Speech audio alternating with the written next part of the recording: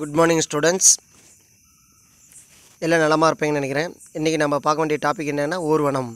ஊர்வன இனம் அப்படின்னாவே மேக்ஸிமம் நம்மளுக்கு தெரியும். கிங் கோப்ரா ராஜநாகம். ஊர்வன இனங்களை மேக்ஸிமம் நம்ம இது நல்லா பாப்புலரிட்டி நல்லா தெரியும். ராஜநாகம் அப்படிங்கிறது கால்கள் அட்டுறது ஊர்ந்து செல்லக்கூடிய ஊர்வனங்களை பற்றி சொன்னால் அதுக்கு பேர் ஊர்வன அப்படின்னு சொல்லலாம். அதில் தான் நம்ம ஃபஸ்ட்டு பார்க்குறது என்ன அப்படின்னா வகுப்பு. ரெப்டீலியா ஊர்வன. கிளாஸ் ரெப்டீலியா அப்படிங்கிறது ஒன்மா கொஸ்டின் கேட்பாங்க. அதே நல்லா தெளிவாக பார்த்துக்கோங்க. அதில் நம்ம பார்க்குறது எதுனா பெரும்பாலும் அதனோட பொதுவான பண்புகள்.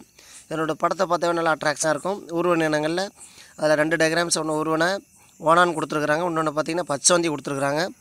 அதில் இதோட பெரும்பாலான பொதுவான பண்புகள் என்ன அப்படிங்கிறது மேக்ஸிமம் நீங்கள் பார்த்தாவே அப்படியே பாயிண்ட் நல்லா மைண்டில் செட் ஆகிரும் ஈஸியாக எழுதிடலாம். நல்ல ஈஸியான கொஸ்டின் வினாக்கள். அதேமாதிரி நீங்கள் எழுதுறதுக்கு நல்லா அதனோட தலைப்பகுதியில் ஆரம்பித்து வால் பகுதி வரைக்கும் அப்படியே கம்ப்ளீட்டாக எழுதலாம். பொதுவான பண்புகளை தான்.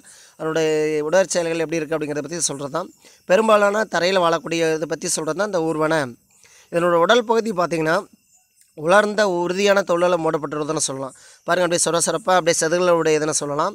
அதேமாரி இதில் பார்த்தீங்கன்னா உருவான செதுகளும் சில சுவாச தகடுகளும் காணப்படும். அதேமாரி இதனுடைய அறைகள் எடுத்துகிட்டு அப்படின்னா இதயத்தில் எத்தனை அறைகள் காணப்படும் அப்படின்னா மூன்று அறைகள் காணப்படும். அதில் பார்த்தீங்கன்னா இரண்டு ஆரைக்கில் ஒரு வென்றிகள் மட்டும் காணப்படும். இதுக்கு அப்படியே ஆப்போசிட்டில் இருக்கக்கூடியது முதல இனங்களில் நான்கு முழுமையான அறங்களை கொண்ட விலங்கு இதயம் காணப்படுதுன்னு சொல்லலாம்.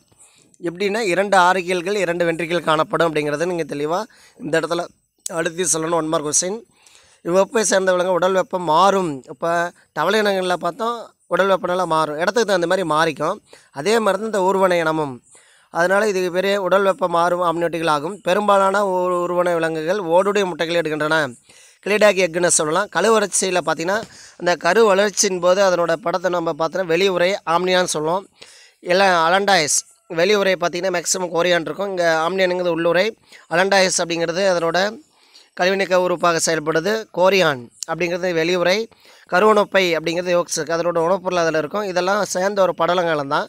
கருசொல் படலங்கள். கருசொல் படலங்கள் அப்படிங்கிறது அதனோட பாகங்கள் எல்லாம் சொன்னாங்கன்னா நீங்கள் தெளிவாக எழுதணும். இதனோட கழிவுநீக்கத்தில் பார்த்தீங்கன்னா யூரிக் அமிலத்தை கழிவுப் பொருளாக வெளியேற்றுது.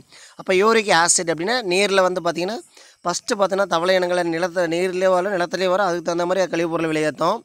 இங்கே பார்த்தீங்கன்னா இது மேக்ஸிமம் நிலத்தில் இருக்கிறனால யூரிக்கோ டெலிக் அப்படிங்கிறத பற்றி இது இதில் தெரிஞ்சுக்கணும்.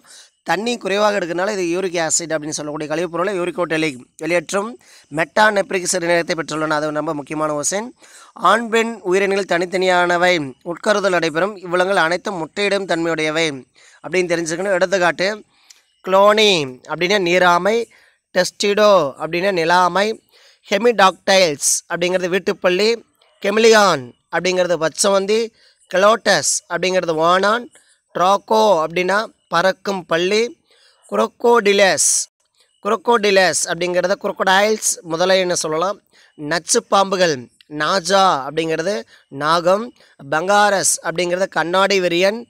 வைப்பரா அப்படின்னா விரியன். இந்த மாதிரி பாம்பினங்கள்லாம் எடுத்துக்காட்டு நிறைய கொடுத்துருக்குறாங்க. அதை பற்றியெல்லாம் நம்ம இதில் நல்லா பார்த்துக்கணும். இது ரொம்ப முக்கியமான ஒரு டாபிக்ஸ் இதில் நம்ம இப்போ பார்த்த டாபிக் ரெண்டாவது டாபிக் ஊர்வன அப்படிங்கிறது மீனிங்ஸ்